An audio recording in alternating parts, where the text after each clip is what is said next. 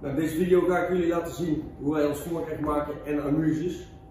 Makkelijk dan meer wordt echt niet. Voorgerecht en amuses. Het allerbelangrijkste eigenlijk van amuses is dat je het ook op een leuk bord presenteert. Je, wij maken altijd zo mooi mogelijke amusehapjes, uh, zodat het ook leuk oogt. Als je dan vervolgens uh, in een bakje gooit, dan is het eigenlijk de hele fun van een amuse eraf.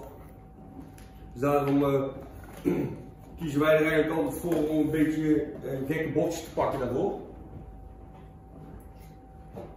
Dan heb ik hier gewoon eigenlijk een steentje en een plateautje. Ik zal beginnen met de paté.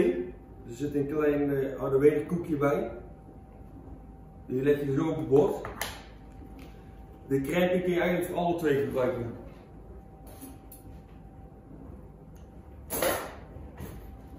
Het is voornamelijk bedoeld voor in uh, het schuimpje, voor het rood maar je moet ook een klein dotje onder het balletje doen.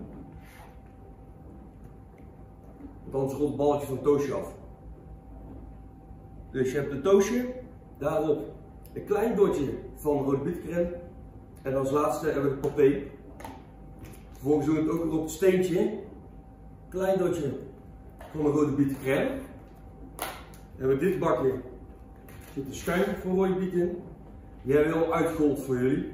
Dus je spuit eigenlijk gewoon het hele ding vol en die zet je zo bovenop het dotje, zodat hij ook niet meer weg kan gaan. Zo heb je eigenlijk heel simpel twee leuke amuses die je met je gast kunt delen.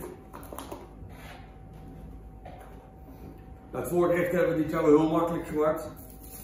Ik schaam me eigenlijk er gewoon voor om dit uit te leggen op een video, maar het is klaar. Je kunt het om nog een beetje leuk aan te kleden. Een, mooie de aan de erbij zetten. Met de chipjes erin. En ik zou zeggen, smakelijk eten.